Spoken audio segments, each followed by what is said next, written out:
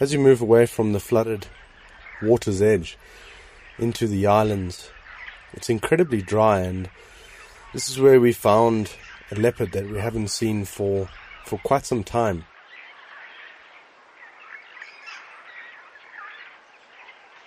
We assumed that he had been pushed out by other males coming into the area, and it is really nice to see him back in the heart of his own territory.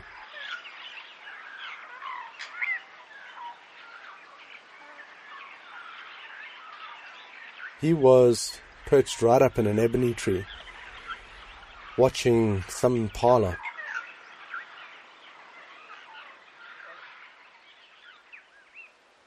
August and September are months where the impalas seem to wander from ebony tree to ebony tree, picking up the fruit that has fallen. And leopards often just get up into these ebony trees and sit and wait.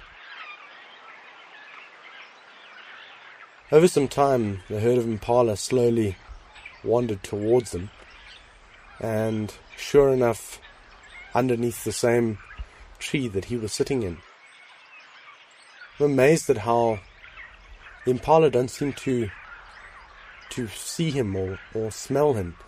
It's almost like because he's elevated, their scent seems to waft above the impala.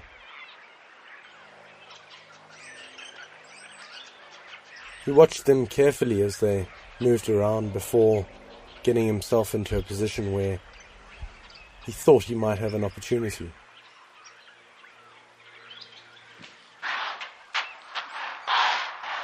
The impala scattered and snorted and watched him as he got up and moved off.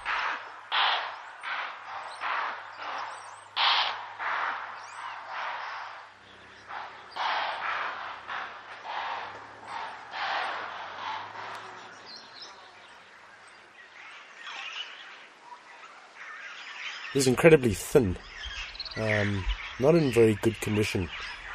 No stomach on him at all, and clearly very hungry. Heading away just to find another perfect spot to to try and kill something.